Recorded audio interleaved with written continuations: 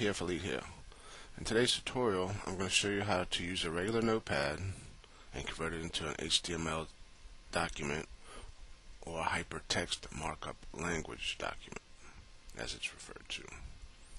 To begin, simply right click on your desktop, go to New, select Text Document, open it up, and now we can start formatting our text document. So to start off, we're going to tell the document that it's an HTML document. So we're going to use the HTML tag, less than HTML, oops, greater than. That tells it, or that's going to tell the text pad that it's an HTML document. So, now, once we got that in, we know that we can proceed. Every document has a header, so we'll simply enter a header tag, which is less than, head, greater than. We also know that every document needs a title, so we'll use a title tag, less than, T-I-T-L-E, title.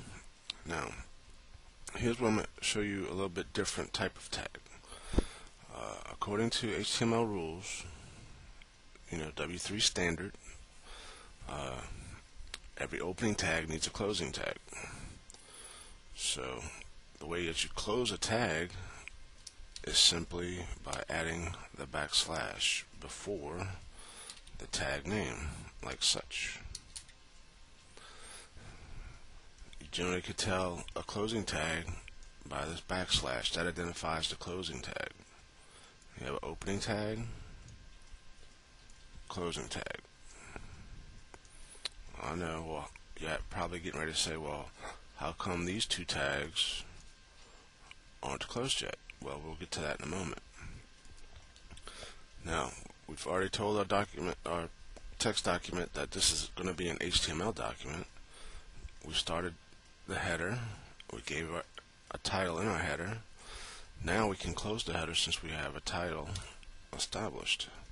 Simply less than backslash head greater than. Now that closes our header tag. Now we know that our document needs a body which will contain all of our information that's added into the web page. So to get started on the body, you simply enter the body tag, which is less than body greater than.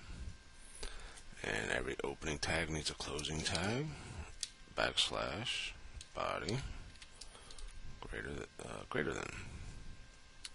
That closes our body. Now, as it stands, this is an HTML document. Here's a header, has a title, and a body. So simply now we just have to close the HTML document, which can be done very simply by utilizing the closing tag. And that's pretty much all the code needed to format a text document into an HTML document.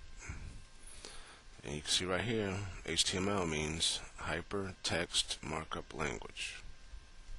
Okay? So now that we got it formatted, let's save it as an HTML document. To do that, you just go to File, Save As, and we're going to call it uh, First Page.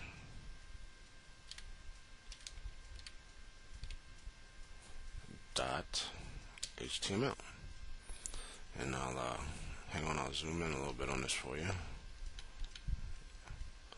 So y'all y'all can see. First page.html and I'm just going to save it to our desktop for now. Okay so we can go ahead and close this. And we can grab our first page since it's converted into an HTML document. Text pad HTML document so we really don't need this anymore. So now we have our document. If we double click on it,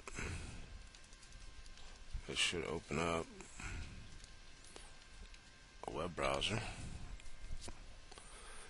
It's a, showing a blank page because there's no information in it currently. So let's just quickly uh, add a title to our page. We'll do that.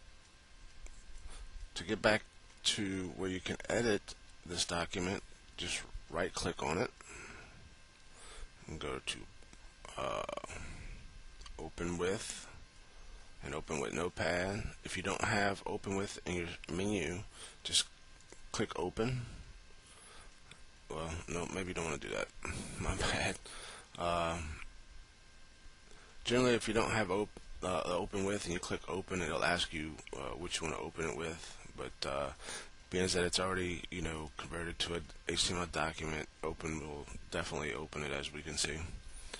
Uh, so we could just right click open with and we'll select notepad. And then we have our code back that we used to format it. You can see right here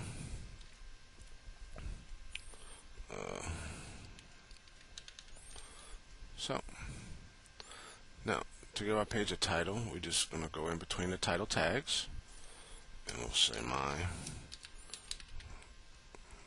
first web page like so. And then we can just simply go to File and Save. Now we should be able to open our document again by double clicking and we'll see that we have our title, My First Web Page. Okay, that's it.